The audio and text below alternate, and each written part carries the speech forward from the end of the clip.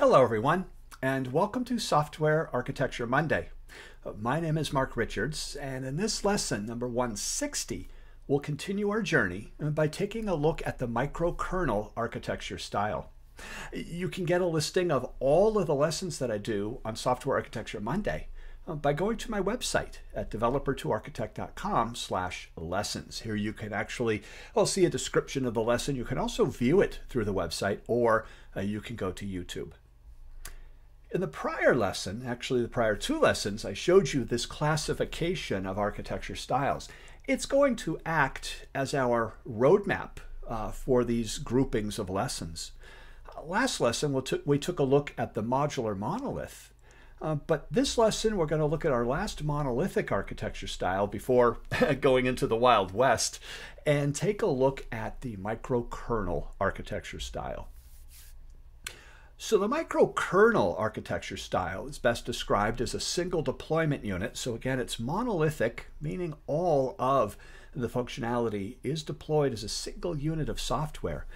But unlike the other architecture styles, this one is deployed with independent modular add-on functionality, usually called plugins. As a matter of fact, this is another name. Uh, this has another name uh, from microkernel, which is the formal name. It's also known as the plugin architecture style um, because of the nature of the plugins. If you look around, there's so many examples of the microkernel architecture style. As a matter of fact, one of the best examples I could tell you about is actually Eclipse. Now, back in the day, notice my gray hair. It used to be that we would download Eclipse and it was nothing more than kind of a glorified editor. You could open a file, change a file, save a file. And I'm using Eclipse, but any kind of IDE, integrated development environment. It's not really useful until we start adding plugins to add extensions and capabilities to this. Now, I do kind of pick on Eclipse here and use Eclipse as an example also of what not to do with the microkernel architecture. Did you notice the description, the shape of this? Independent, self-contained plugins. So the problem is if you start sharing plugins as Eclipse does, unfortunately, this creates very unhealthy dependencies uh, because if you remove one plugin or update one, all of a sudden something else breaks because of a version problem. And so this is something to definitely avoid uh, with the microkernel architecture. But there's another really good example of microkernel that you are using right now. And I know that because you're viewing this video, and that is a browser. Something like Chrome, for example, or any browser. Uh, it's, it's an HTML renderer, but it could do so much more if you start using add-ons or plugins. I can plug in AsciiDoc, I can plug in Asciidoctor into Chrome, and now I've got an authoring platform that I could actually write books on. so these are good examples of the microkernel architecture. Uh, PMD, Jenkins, uh, most of the things in a CI/CD pipeline are also microkernel. Anything that you can write your own plugins or purchase third-party plugins for is in fact usually the microkernel architecture style. But it's not limited to just tools.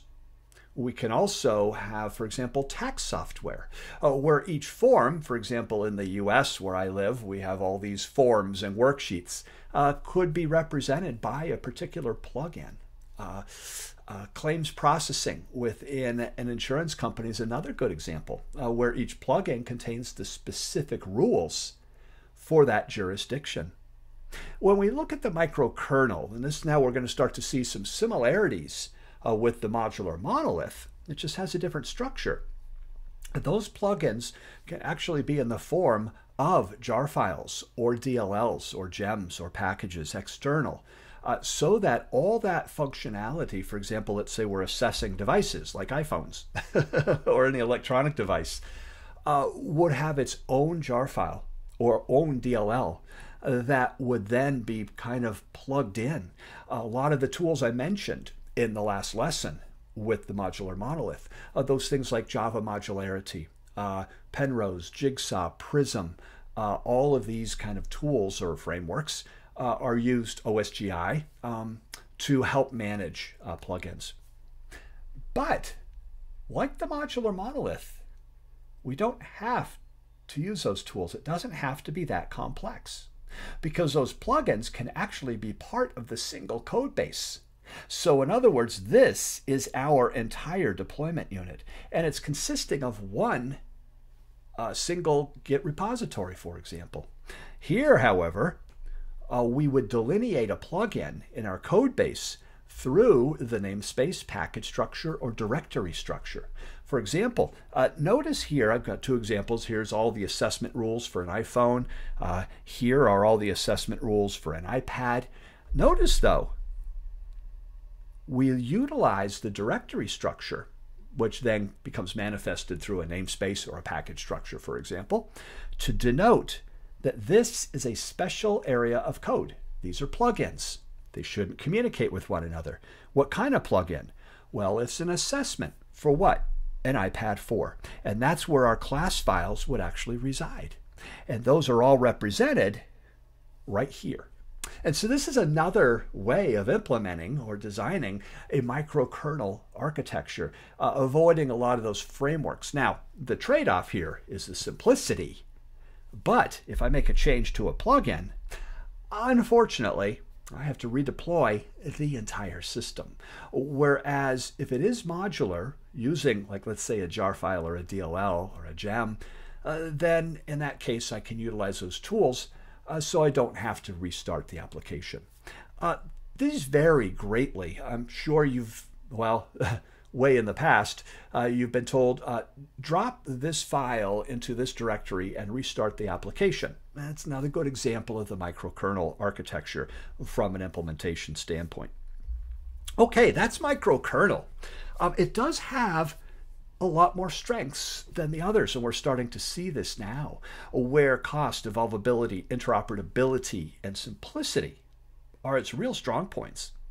And the times to use and choose the microkernel architecture are those times when most of our change is in fact isolated to uh, these independent plugins.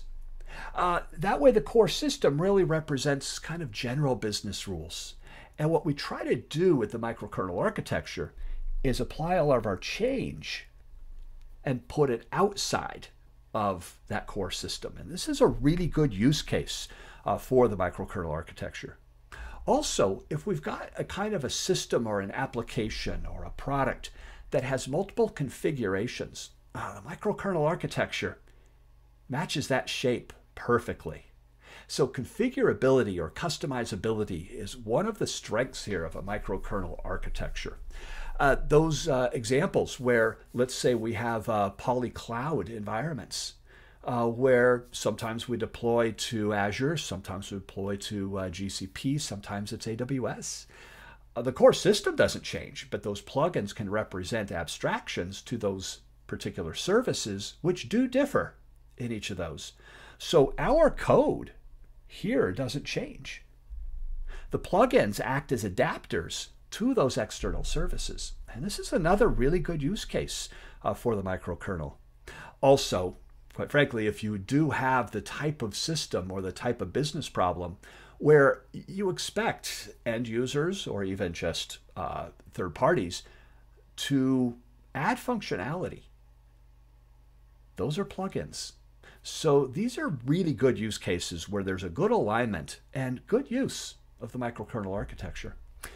But like all of them, there are times to avoid this. And with the microkernel, uh, this mostly involves uh, a lot of the operational type of things. For example, high levels of elasticity or scalability, uh, fault tolerance. Um, now, it's interesting, you might say, but Mark, I'm, I'm a little curious here because um, can't I remove bottlenecks and increase scalability uh, by even if I made these remote? I could do that with the microkernel as well. Of course, now we're talking about a distributed architecture. That brings in a lot of other different kinds of star ratings and trade offs. But the point is, it's still all requests have to come into the core system. And this creates a bottleneck for elasticity and scalability, even though we have kind of a modular kind of architectural style. The same is true with fault tolerance. Uh, if I crash on a plugin, uh, that core system uh, still has to get to that functionality. So, uh, and also if that core system crashes, um, all functionality is gone. Um, but there's another kind of use case when to sometimes avoid this, and that is if most or all of our changes are isolated into that core system.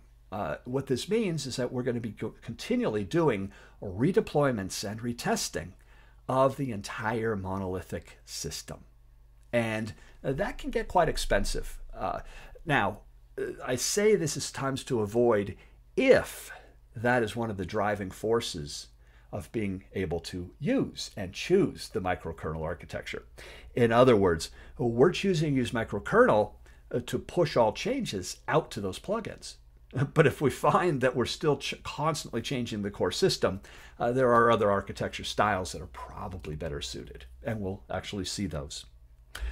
All right, so that is the microkernel architecture along with uh, some of the star ratings. You'll notice right here, I just want to point out uh, that that whole maintainability, testability, and deployability, isn't it interesting? Uh, we've gone through three architecture styles so far, and several weeks back, we did take a look at the layered, which only had one star for these. Modular Monolith added an additional star. There's now a third star, so we're starting to get better in terms of that agility uh, because if a change is isolated to the plugin, that's the only thing I need to test and possibly deploy. And so this actually starts increasing that maintainability, testability, deployability aspect of an architecture a little more. So, um, and the same thing, you know, performance, interoperability, and evolvability now has three stars as opposed to just one, uh, because, well, by adding plugins, we actually do evolve uh, the architecture. Okay, well, this has been lesson 160, uh, the microkernel architecture. Uh, stay tuned in two more weeks for our next lesson, 161, where we'll bounce into the distributed world and take a look at five different architectures, starting with microservices. So, anyways, and we'll follow the same kind of pattern. Where I'll talk a little bit about the topology, some interesting aspects of it, take a look at when to use and when not to use these architectures. Thanks so much for listening. Uh, stay tuned in two more weeks.